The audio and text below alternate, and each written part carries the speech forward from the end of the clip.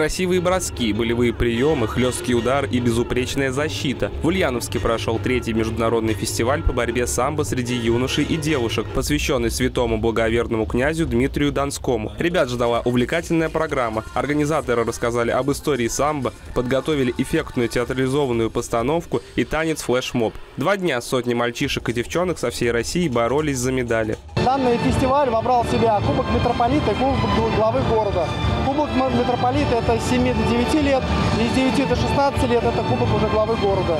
Свою историю соревнования ведут с 2016 года. С 2020 года им присвоен статус международных. На этот раз в Ульяновск съехалось 800 ребятишек с разных регионов России, Азербайджана, ЛНР и ДНР. Среди почетных гостей фестиваля семикратный чемпион мира, трехкратный чемпион Европы, пятикратный обладатель Кубка мира Раис Рахматулин. Он поделился с ребятами своим секретом успеха.